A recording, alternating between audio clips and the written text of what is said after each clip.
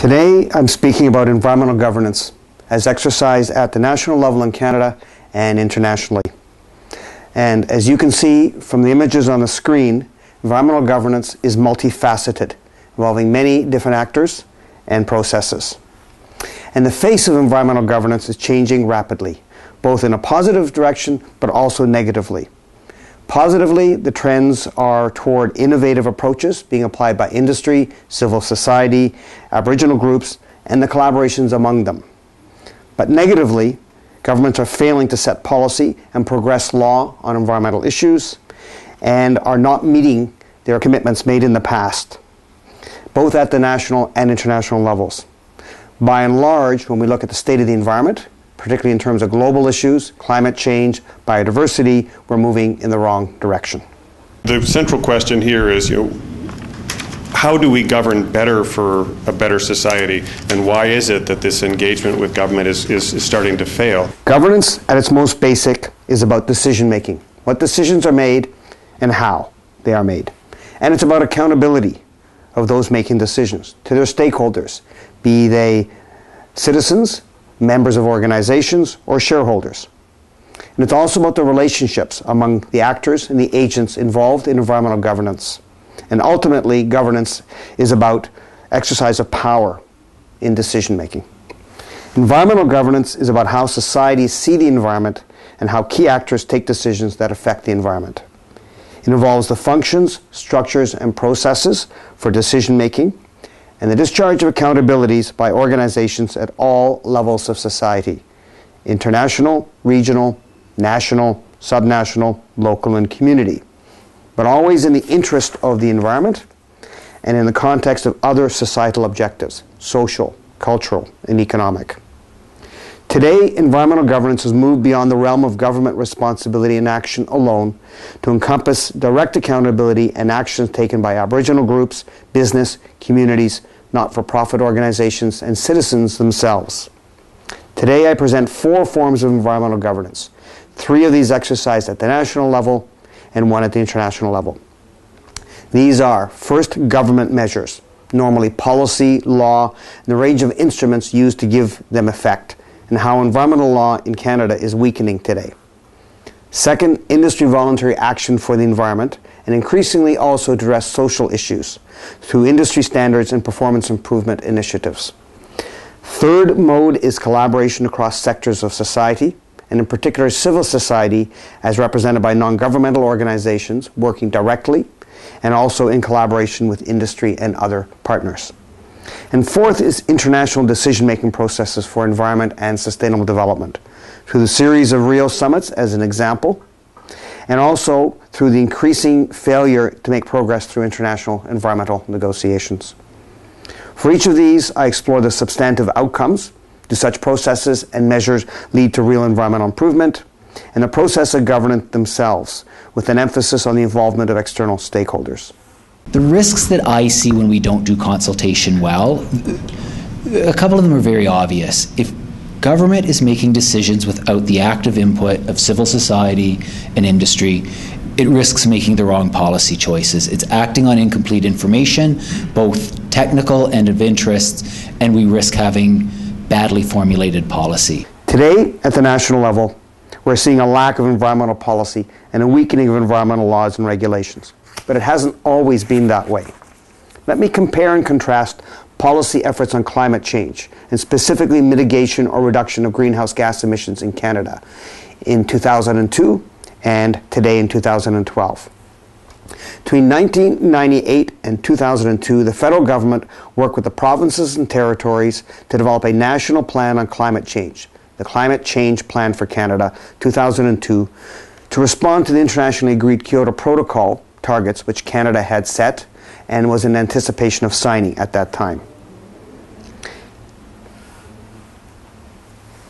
Key governance elements of the process put in place at that time was a multi-stakeholder sector table, set of tables for each of the key sectors of the economy, a federal, provincial, territorial committee on natural resources at the, at the minister's level, an officials coordinating committee involving all jurisdictions in Canada, technical working group called the Analysis and Modeling Group to support the ministers and the Assistant Deputy Minister Committee with the job to determine the magnitude of the gap between the growth in emissions under a business as usual scenario in Canada and how to meet the Kyoto target.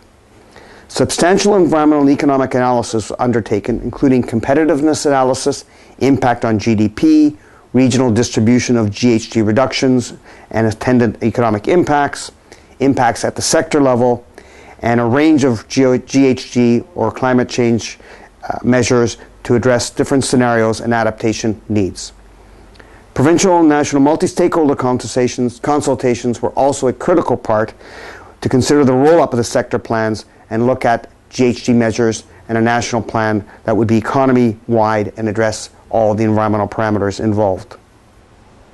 Most important part of this process, other than the final political decision making, was two years of work done in multi-sector tables. This covered all major economic sectors in Canada, with multi stakeholder groups working across industry, government, communities, non governmental groups, academics, researchers. Each table produced an agreed set of emission reduction scenarios for their sector and supporting policy instruments, in many cases designed in sufficient detail that they could be introduced. The buy in by often competing interests was quite remarkable and demonstrated a strong Canadian approach to environmental governance, building on the success of the roundtable approach established by the National Roundtable on the Environment and the Economy. The resulting Canadian Climate Change Plan covered most sectors of the economy, which would have an impact on GHG emissions and also which had potential to curtail them.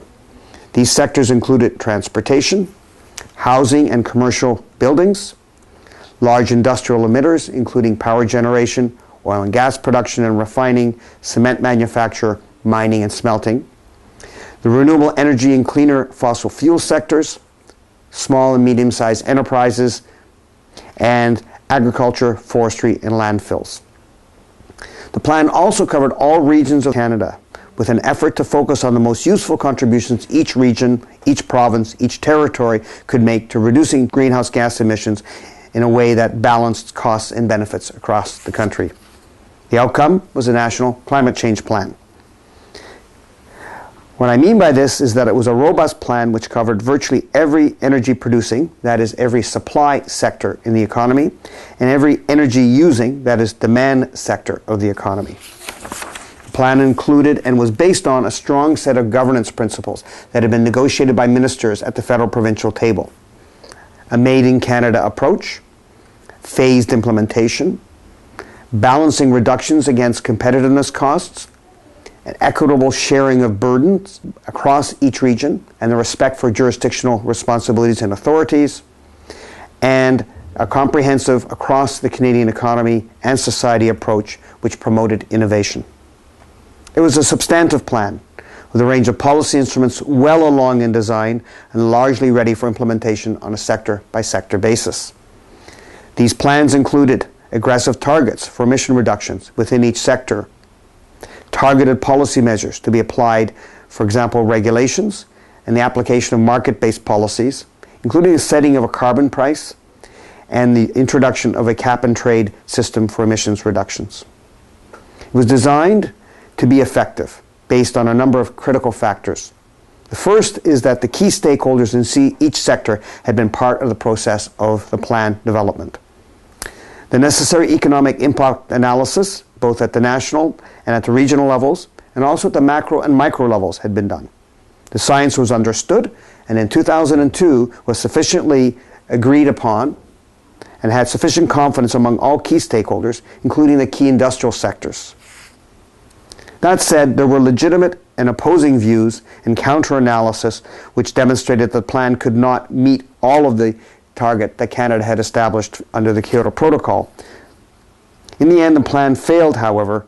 It was not adopted nationally because of political reasons. Distrust and disagreement between the federal and provincial jurisdictions ultimately undermined the plan. But the plan was implemented as a federal plan, although only in part. One additional critical factor was ultimately missing an internationally established price for carbon which had been estimated in the plan at a range of $15 through to $50 per ton, but was never materialized, never put in place. So we were almost there. Canada was very close to putting in place a national climate change action plan with policy measures agreed for most sectors and by most provinces. This demonstrates a lost opportunity in leadership which we've never recovered, and today we're not even close to having a national plan on climate change. In fact, if we look today, where are we? Well, the government has pulled out of the Kyoto Protocol. A recent report by the Federal Commissioner for Environment and Sustainable Development, Scott Vaughan, has shown that the current measures in place by the federal government for a much lower emission reduction target of 17% reduction over 2005 by the year 2020 is also not on track. Based on the results, the Commissioner concluded that federal government's simple sector by sector regulation approach is not sufficient and may not get us even 50% of the way to the new lower target. But national governance for climate change is not just a matter of targets. It's about policy instruments which policy instruments? Which cho- choice on policy instruments? Those which are used to make progress across the economy and the robustness of the suite of instruments that are used to achieve these targets. Earlier this year, I did a short comparative study of the measures other countries have put in place to act on their GHG reduction commitments, whether they are Kyoto Protocol commitments or the voluntary commitments under the 2010 Copenhagen Accord. By contrast to Canada, which is focusing on one instrument, one instrument, a regulation, and on a very narrow set of sectors, my study concluded that countries that are on track to meet their GHG reduction targets use a robust policy base with a variety of policy instruments regulatory, market based, and incentives, and voluntary measures. Most countries are well ahead of Canada in their efforts. Even the United States, which relies largely on a regulatory approach, which Canada is following, has broader national incentives for clean energy R&D and deployment. In Australian national policy relies on economy wide market instruments complemented by incentives for renewable energy research and land management. Today, we are seeing a serious weakening of national environmental law through Act C38, passed in the spring of 2012. This was part of a budget omnibus bill which changed not only environmental law, but tax law, immigration law, fundamentally and at a stroke of a pen. The federal government has now put in place a suite of changes to federal environmental legislation as part of this act and a new act introduced in the fall of 2002, which change a number of acts, including the Canadian Environmental Assessment Act, substantive changes to the Fisheries Act, Navigable Waters Protection Act, and also changes to the Species at Risk Act. Four out of the five major pieces of environmental legislation the main features across these amendments and changes to federal na- national environmental law are first, the federal government vacating formerly held national regulatory jurisdiction or seriously limiting its application. Second, very substantial increase in ministerial discretion on application of these laws with respect, for example, to the ability to exclude projects from environmental laws and areas of land and water from regulatory requirements and a major delegation of responsibilities to provinces and territories for the carrying out of environmental assessments and for environmental regulation. This is being accompanied by attempts to drive the wedge between the environment and the economy, and by vilifying environmental critics and casting nature as an obstacle to development. This said, there are useful improvements. For example, the Canadian environmental assessment process, at least on paper, will help focus effort of environmental assessments on most significant projects. Implementation requirements are still to be put in place to determine whether this will be the case. But most significant is the weakening of the Fisheries Act, Canada's strongest piece of environmental legislation. There was indeed a need to improve the Act. It was being implemented in a very cumbersome and inefficient way. For example, requirements for uh, issuance of permits for very minor habitat disturbances, for example, culverts and farmers' fields really were not serving the environmental interests of Canada and certainly causing the economy and certain stakeholders a lot of effort. But this could have been done. These measures could have been changed through improvement to the management and implementation of the existing Fisheries Act rather than through a wholesale amendment to the Act. The new Fisheries Act significantly changes federal authority to set regulation regarding activities which affect important fish habitat which are defined as harmful alterations, disruptions, or destruction of habitat, now restricted only to a set of defined relevant fish. These are defined as fish in a commercial, aboriginal, or recreational fishery, whereas previously it was all fish and all aquatic species, including shellfish, crustaceans, and marine mammals, regardless of the use of these by humans. This provides the opportunity to undermine protection of important freshwater ecosystems, and it reduces the numbers and types of habitats which are subject to regulatory approval for projects that affect them. And the Navigable Waters Protection Act, the other major piece of federal legislation on environment and in waterways, is now restricted to 97 lakes and 62 rivers across Canada, severely limiting which kinds of projects and constructions are subject to federal regulation in these waterways. But it's not always been that way. If we look back to 1991, late 1980s into 1991, when Canada and the United States signed the U.S. Canada Acid Rain Treaty, it was a different situation. Acid rain being one of the examples. The science of acid rain was quite understood, and thanks to Dr. Schindler and others, uh, we knew what the point sources were as well. And there were off the shelf technologies for scrubbing SO2 from stacks that, with government regulation, we were able to put that forward and, and simply clean up emissions point sources. To what is said in the video, I would add that a key element of environmental governance that was at play in the case of the acid rain situation was the demonstration of political leadership. Prime Minister Mulroney grasped the importance of acid rain as a national issue. He had his officials set out strong federal regulation to reduce sulfur dioxide emissions. He convinced the provinces, Ontario in particular, to regulate their coal fired generating stations and the nickel smelting industries and he convinced the US President Ronald Reagan to sign the treaty. And interestingly, these measures not only led to environmental improvements, but they actually led to innovation in the metal smelting companies Inco and Falconbridge in Sudbury, who previously had tried to solve the problem by raising their smokestacks, which only spread the damage further, led them to make major improvements in their processes for industrial smelting of nickel with the result of not only innovation but reduced smelting costs. Now, I'd like to turn more broadly to another approach to addressing environmental issues through government. And while we have no national policy on climate and we have a weakening of national environmental laws, in most instances, there is an example through a short history which I'd like to give you where federal governments attempt to regulate air quality together with provinces is making a difference. In 2006, the then federal environment minister set out an approach to regulate air quality directly at the local level, but through federal regulation, through national law. He called this approach tough, tougher, the toughest, intending to regulate industries contributing to air pollution. Simultaneously, at the bureaucratic level, senior officials in Ottawa stood firm on the long held federal right, or thought of as right and necessity, to regulate air quality directly.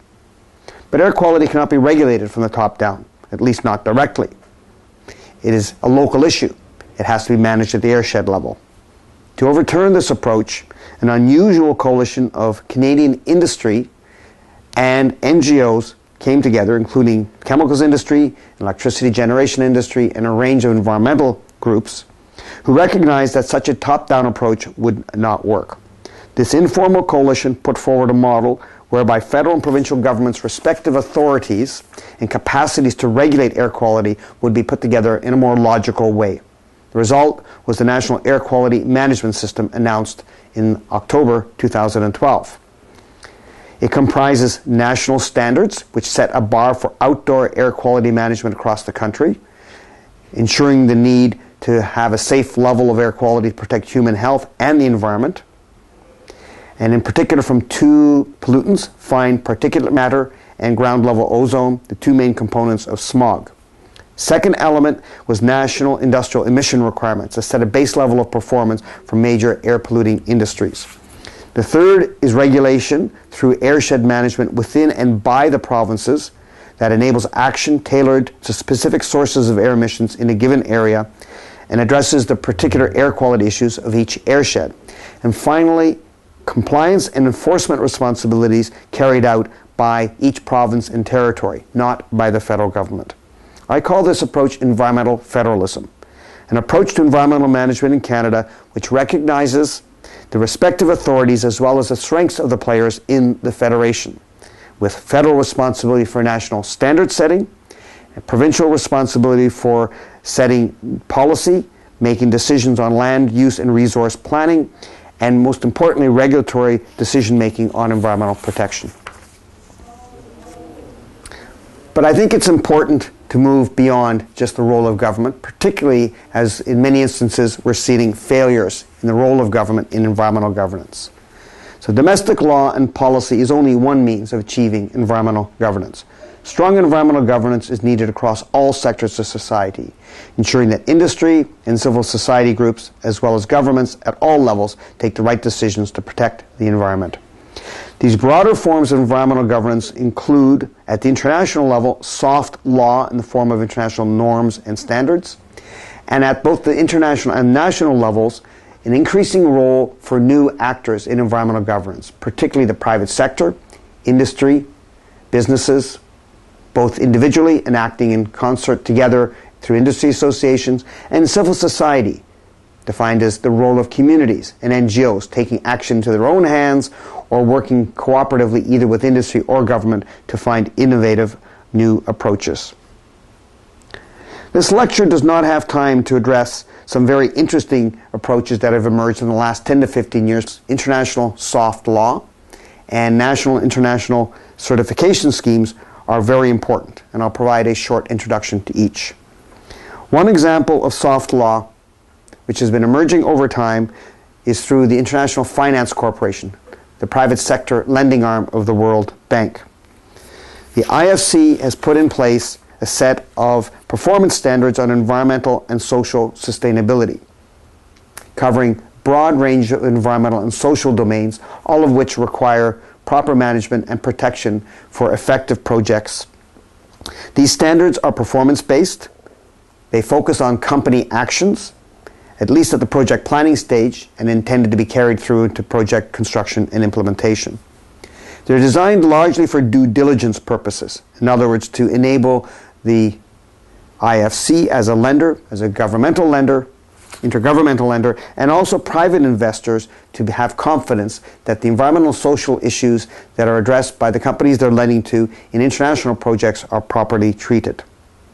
Interestingly, private banks are increasingly adopting these standards, even though they've been fashioned through an intergovernmental process, and they are now being used to raise the bar on environmental and social performance in the private sector through their investments in developing countries. The other major area of environmental governance that has been emerging over the last 10 to 15 years are environmental and social performance certification schemes. And the best known of these is the Forest Stewardship Council. Originally developed through a small collaboration between the World Wildlife Fund and a number of forest products companies in the early 1990s, its unique governance structure at the time, involving NGOs and industry, has now evolved to address broader social interests, including indigenous peoples. It functions through an international governance body made up of these interests. It sets international standards for responsible forest management and it accredits third party organizations to certify forest managers and forest product producers to test that they meet the requirements of the FSC standards. The FSC label provides recognition to forest products companies which support and adhere to these standards, provides market recognition to them. It allows consumers to recognize that products that are produced under these sustainable forest management certification schemes are in fact sustainable at the forest level. And they've been largely applied by large buyers of forest products, such as home products companies and big publishing firms, but driven largely by NGOs to adopt these. There is a much broader set of certification schemes covering many domains, including natural medicines and cosmetics, food products, clothing and footwear, and commodities such as palm oil and gold. And these would warrant a separate set of lectures to explore in more detail their functioning and how effective they have been.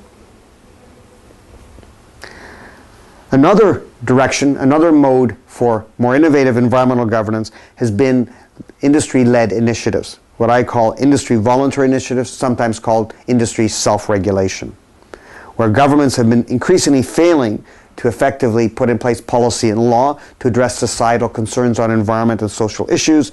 Industry has stepped in to take up the gauntlet, recognizing not only that there is a gap in regulation, but they clearly have understood the need to build and in some cases rebuild the reputation by demonstrating social and environmental responsibility.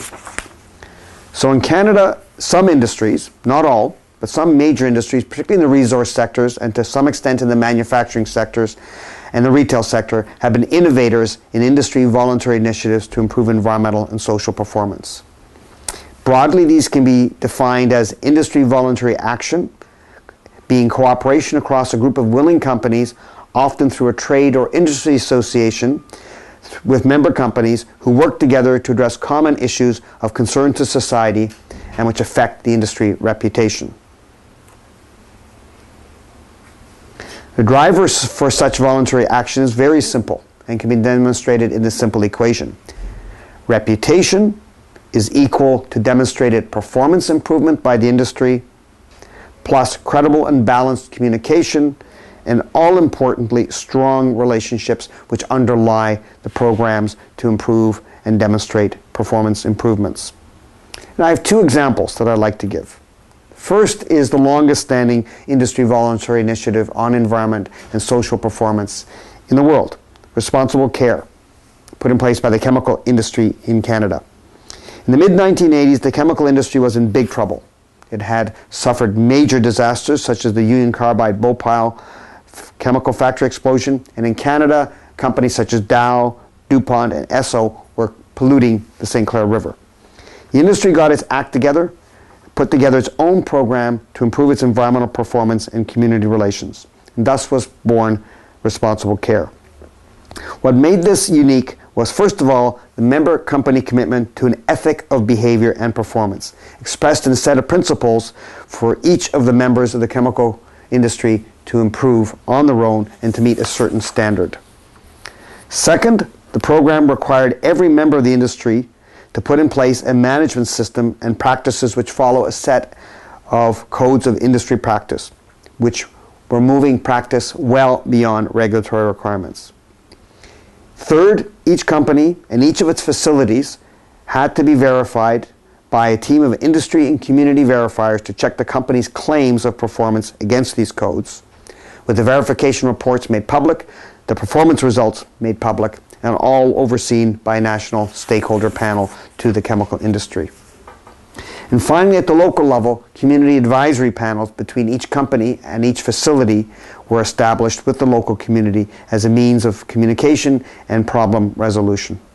And finally, all of these were conditions of membership in the associations. Companies had to adhere to all of these conditions or they could be thrown out, and in fact, in the chemical industry, it did happen. This Canadian model has now been taken up in over 40 countries, though the Canadian Responsible Care Program is considered the most rigorous. And interestingly, it's been taken up by a number of other industries.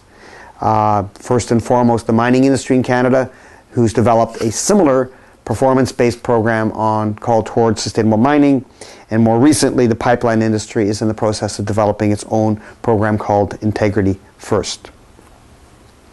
Let me just give one example of this type of architecture for a robust environmental and social performance program on a voluntary basis, that of the Industry Association for Mining, Mining Association of Canada.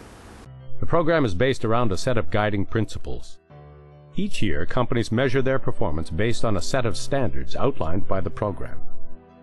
It's a way of, uh, of demonstrating to the public and to our key communities of interests or stakeholders that we are operating responsibly and that we are striving towards sort of continuous improvement. The Mining Association of Canada launched the Towards Sustainable Mining initiative following a series of accidents related to Canadian mining companies in the late 1990s because of the tailings dam failures uh, and the other concerns, there was a sense that we were not meeting the expectations of Canadians, and particularly NGOs and critics and the regulators. Uh, and, but they wanted us to succeed as an industry.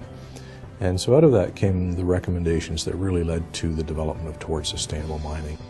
The program started with the issue of tailings management, then expanded to cover other key issues like energy use and greenhouse gas emissions management, external outreach to the communities in which companies work, and crisis management planning.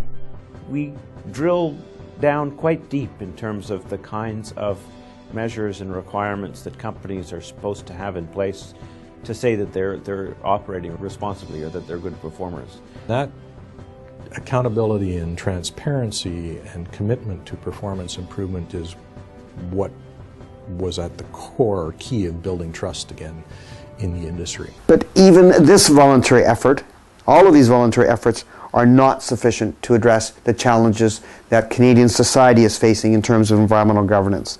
So, what has been emerging more broadly in the last few years are what I define as collaborative efforts. Organizations, often strange bedfellows, working together to a common purpose across multiple sectors or interests to create solutions beyond that which they could accomplish alone. True collaboration.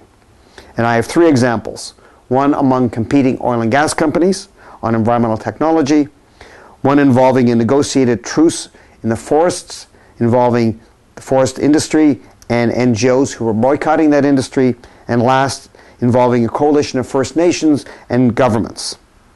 But first, I just want to acknowledge another model with a long standing history in Canada, that of the National Roundtable on the Environment and the Economy. National Roundtable was a typical Canadian way of informing and formulating public policy based on the recognition that environment and economy are intimately linked and that the only way to address major environmental problems is by bringing major interests and stakeholders together to provide creative solutions. Established in 1993, it brought together representatives of key interests, NGOs, academics, industry, community representatives to work together to undertake policy research independent from government but clearly to inform government. It addressed such critical issues as the policy measures needed to address climate change and how to manage Canada's natural capital. And it developed a set of new macroeconomic indicators to add to the GDP to bring in environmental and social performance and progress in Canada. A number of past prime ministers, such as Brian Mulroney, and also finance ministers, such as Paul Martin, valued its advice and, in fact, acted on its policy. But as you can see, the current prime minister has decided to abolish it because the National Roundtable, this innovative mechanism, was apparently producing unwanted and inconvenient advice. Now I will turn to an industry collaborative effort. In the oil sands, a region under heavy development pressure and scrutiny, and with an industry under serious threat for its environmental performance record. Four years ago, 2008, six like-minded oil sands companies came together in what was called the Oil Sands Leadership Initiative to work collaboratively to improve their environmental and social performance in the lower Athabasca River oil sands region. They put in place a number of measures, restoring land through innovative tree planting methods, reducing water use through sharing best practices across companies, and also on the social side, establishing youth-based programs in First Nations and Métis communities to keep kids in school. But there were only a few players with a very large environmental and social set of issues to solve in the oil sands region. So earlier this year, in 2012, a very unusual collaboration among 12 competing oil sands companies, having a wide range of corporate cultures, from Imperial Oil to Suncor to the Norwegian Statoil, created an organization called Canada's Oil Sands Innovation Alliance. What is interesting about this consortium is the agreement among these fierce competitors to recognize the need to act together to go beyond regulation to improve environmental performance seriously in the oil sands. And what is more remarkable is that given the oil industry companies' strong hold on IP, intellectual property, and their past unwillingness to share technologies, the agreement under this COSIA to share environmental technologies across the 12 companies is really a major step forward. Its purpose is to drive accelerated improvement in environmental performance across four areas tailings management and reclamation, water use and management, land stewardship, and the management of greenhouse gas emissions. It is too early to see the environmental results. They are still in the process as an organization of establishing their goals, environmental performance goals. But let's see how ambitious these goals will be as a measure to determine whether, in fact, this initiative has potential. Another even more bold example of unusual partners is the Canadian Boreal Forest Agreement. A very different approach, crisis driven by the loss of European and US markets by the Canadian forest products producers and by NGOs who had a strong commitment to protection of the boreal forest, having established a 50% protection target for all of Canada in the boreal forest, who were frustrated by the lack of action by governments. So the two sides, the forest industry and Canadian environmental NGOs, agreed to sit at the table with each other, with their enemies. Ultimately, 21 members of the Forest Products Association of Canada and eight national environmental NGOs were involved over two years to negotiate a deal. And the deal was simple in its construct. Protection of key habitat in the boreal forest was traded for stopping forest product boycotts. But the deal was complicated in its commitments, and the objectives of the legal agreement that was a result of this negotiation process addressed six elements.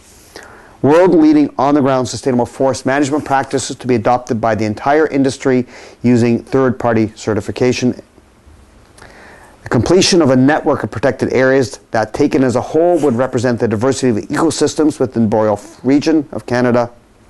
The recovery of critical species at risk, starting with the woodland caribou.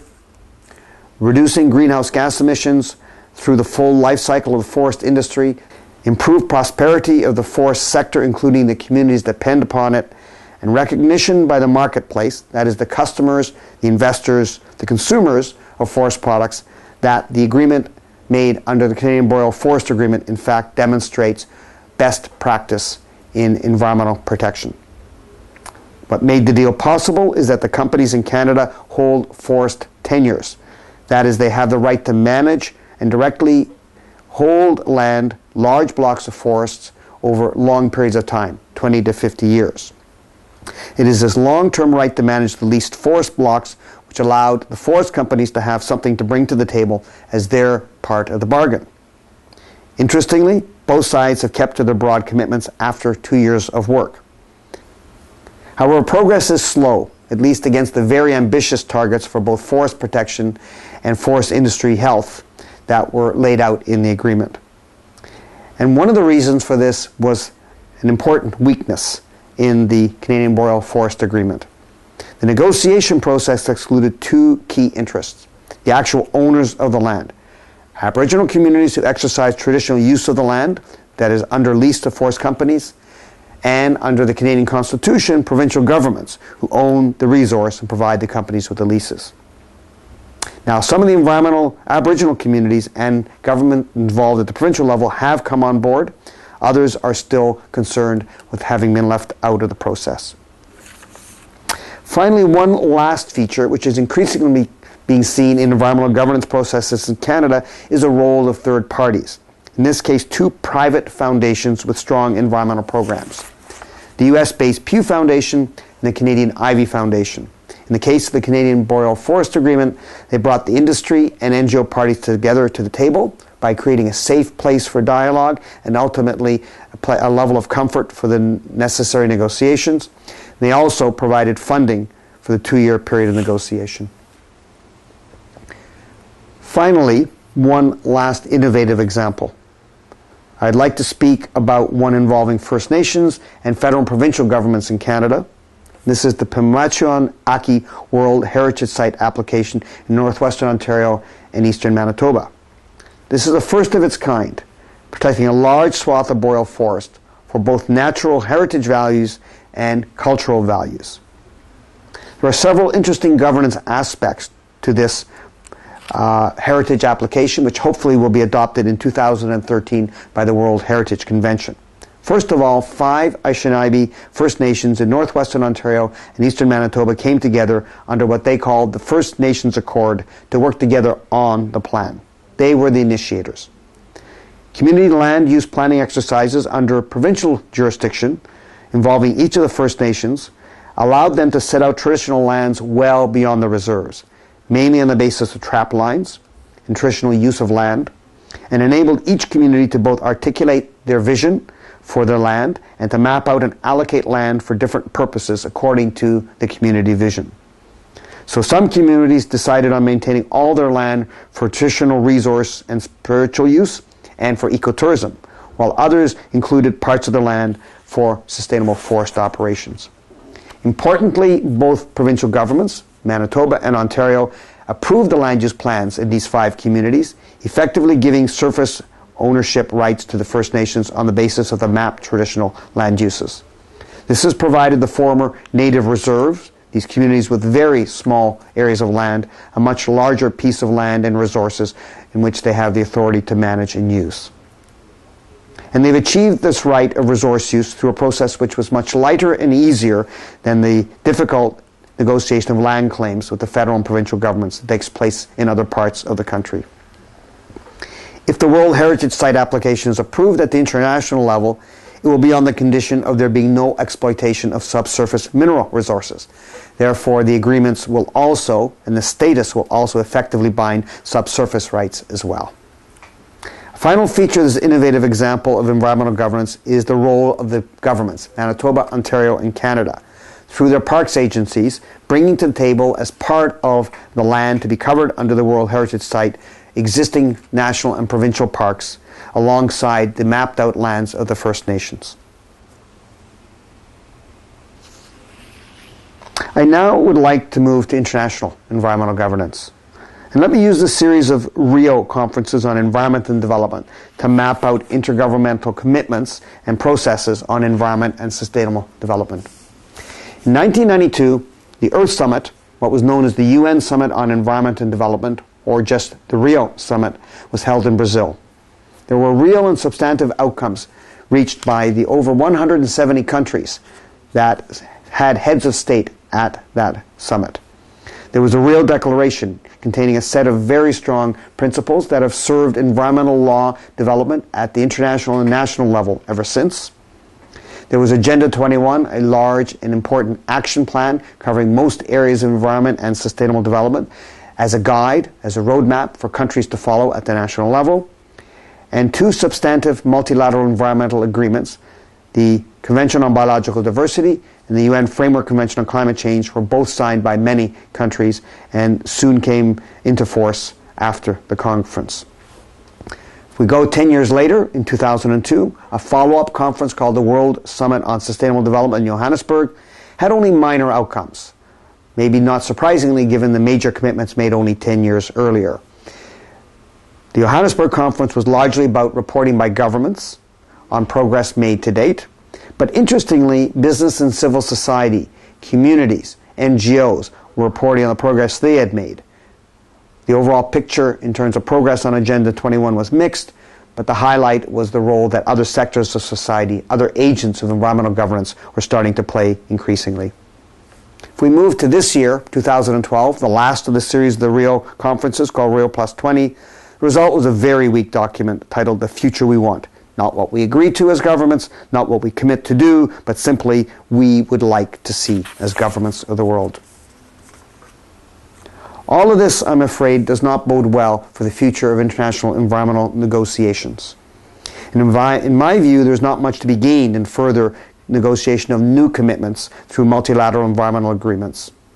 Reaching consensus is increasingly difficult on sustainable development issues at the international level and in these international forums and processes. In fact, many would say no longer possible for a number of reasons, including too many agendas and trade-offs across issues in the international system. Environmental objectives being traded off against other international and national objectives. Environmental negotiations have largely been taken over by professional negotiations, not the experts who led the negotiation of the environmental agreements. Key interests from NGOs to indigenous peoples to industry are being further and further pushed away from the real negotiations and are having little input on negotiating positions and finally, narrow national interests are blocking governments' willingness to make international agreements and commitments when they convene international fora. The political protectionism by national governments. Governments are unwilling to give up sovereignty or authority to some higher authority or a broader agreement. they're concerned at protecting what they see as national interests. Sometimes the national interest is a special interest within their country that for some reason they've chosen to protect. And so they're reluctant to agree to something that might be for the good of all if it gives up a little bit of something that they consider to be precious. Nonetheless, the Convention on Biological Diversity is perhaps one of the conventions that is making some progress through recent negotiations. In 2011 in Nagoya, at the meeting of the Conference of Parties, it established a strategic plan with specific biodiversity targets called the Aichi targets to address key areas of biodiversity conservation and the sustainable use of natural resources.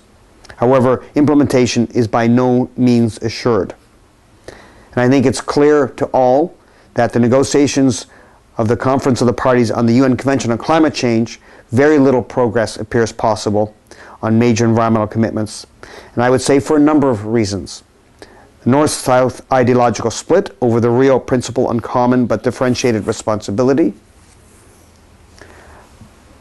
Lack or failure of national policies on climate change, leading to stalling negotiating positions by some parties, and more broadly, a view expressed in a recent paper by Heike Schroeder, Maxwell Boykoff, and Laura Spiers that the consensus based decision making used by United Nations Framework Convention on Climate Change stifles progress and contributes to negotiating deadlock.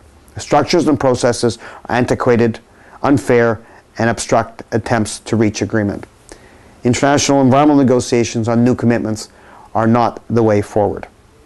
Where I believe action needs to and will shift to on environmental, international environmental governance is the following. Using environmental conventions and conferences to focus on implementation of existing commitments, which are woefully behind in terms of progress, rather than making new commitments. The use of regional and bilateral forums and agreements negotiated outside of the UN where progress can be made and new partnerships outside of governments involving civil society and business to act on the commitments already made by their countries under the conventions. And finally, new ways of negotiating, bringing governments and other interests together to the table to do the negotiations, rather than governments negotiating between themselves. One example is the International Union for the Conservation of Nature. And I would highlight its innovative governance structure, where governments and NGOs at the international and national level, where states and government agencies, all members of IUCN, covering over 138 countries of the world. And when they come together, all decisions taken by the IUCN involve equal power, equal votes by the government and non-governmental parts of the Union. So to wrap up, where are we heading? Here are a couple of views from a recent seminar held on public participation in environmental governance. A lot of the environmental issues that we're dealing with now, be it climate change, biodiversity, they are more complex problems than we've dealt with in the past. And I think we have to be very careful about not thinking the same solutions that worked in the past will see us through these problems in the future. I, I think we'll need something, we'll need a different sort of process and a different sort of set of tools that acknowledge the system's complexity with, of these issues and the level to which solving these issues is integrated into every aspect of the economy. But beyond this, I would say that there is a need for governments to reclaim the critical role they play in environmental governance. To start again to accept the responsibilities as key actors although by no means the only actors, but to pick up their responsibilities for environmental governance, including the recognition that strong but efficient environmental law and regulation is good for all of society, including business interests and communities. And that governments need to begin once again to work with and draw on the knowledge and essential support of other key sectors in society in formulating environmental policy and law. Other orders of government, including Aboriginal groups, need to be included, as do business, NGOs, and communities. For its part, industry needs to continue to implement substantive voluntary programs which move well beyond regulatory compliance to address both ecosystem and community needs. But putting in place the necessary safeguards to ensure that real progress is being made and that we avoid greenwashing or minimalist action by industry working through self-regulation. This will be aided by key involvement of external stakeholders, including critics of the industry, true transparency measures to bring to light the behaviors and the good and bad performance of the industry and the companies themselves, and use of solid third party review or verification practices to ensure that what industry commits to is in fact being acted upon. NGOs, for their part, also need to work more to find common solutions with industry that allow buy in to each other's environmental objectives where there is common ground and mutually beneficial ground, while not giving up their role in helping hold industry and governments to account for the commitments they have made. And finally, there is a need to develop and put in place new forms of multi interest environmental governance, those that involve shared decision making and clear accountabilities across all interests, governments, Aboriginal groups, industry, NGOs, and communities, building on some of the best case examples that we have had in place in Canada and internationally. Thank you very much.